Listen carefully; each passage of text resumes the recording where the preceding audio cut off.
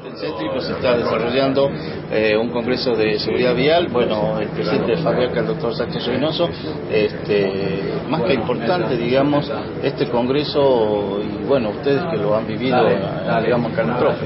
Bueno, todo lo que se refiere a seguridad vial para nosotros es interesante, importante, ya que nuestro peregrinar, digamos, en esta materia muchas veces te dan un resultado positivo, pero la mayoría resultados negativos. Pero siempre crea la expectativa o la esperanza de que las cosas se vayan haciendo mejor que ayer y que en pos de eh, llegar a una sociedad más organizada, con mayor responsabilidad, con, digamos, con mayor precaución en cuanto a seguridad vial. Yo creo que estos, estas jornadas son muy importantes, pero siempre y cuando los... Este, digamos, los que están trabajando ahora en esta materia lo hagan con capacidad, que sean gente idónea y que miren hacia mucho hacia la sociedad que tanto está esperanzado en que estas, estas cosas, estos flagelos que nos afligen día a día, vayamos solucionando, ¿no? Para ustedes sería muy bueno también que participe la justicia, ¿no? Siempre dijimos eso, eh, siempre estamos en que, eh, que la justicia es, es la voz eh, todo en ágil y es la que está faltando y creo que es lo más importante cuando el hecho se produce. Nosotros venimos pregonando que la justicia debe ser igual para todos, no como la que estamos teniendo en Catamarca, que este, eh, es un tipo de justicia para cierta clase de la sociedad y otra para el resto de la sociedad.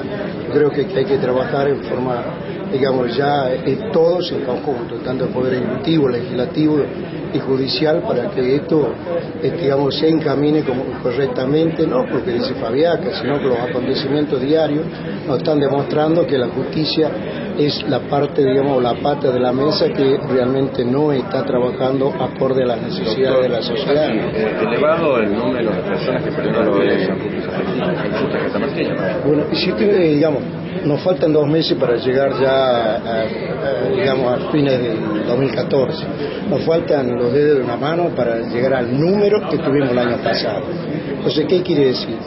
Que este, algo falta, algo hay que hacer, algo hay que, es necesario que no solamente los funcionarios trabajen a través de los escritorios, sino que salgan a la calle, vean, vean, palpen la realidad en la cual estamos viviendo.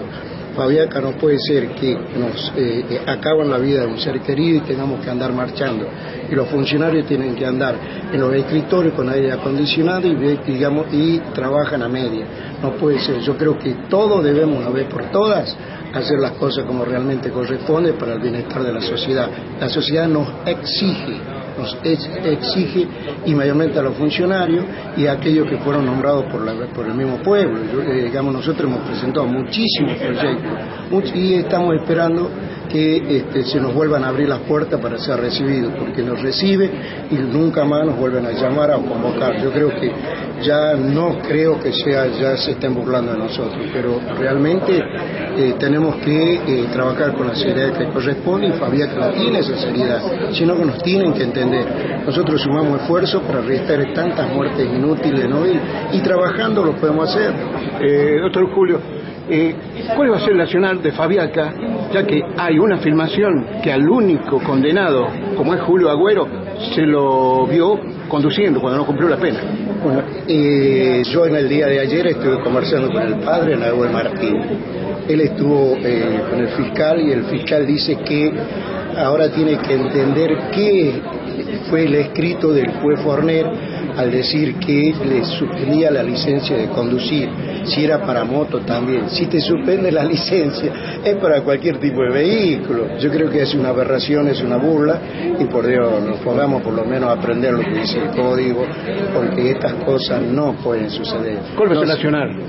Bueno, nosotros, este, por ejemplo, este jueves, este sábado estamos portando la estrella amarilla de la señora Soluaga y de Chico Belis eh, en la zona de Valle Viejo, eh, digamos, en, la ruta 38 y en el cruce que va hacia el Bañado.